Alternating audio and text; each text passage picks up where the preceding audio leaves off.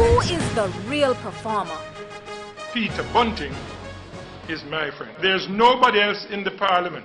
And with the consistency that he has, keep nagging, all in an effort to furthering the cause of Mandeville Hospital.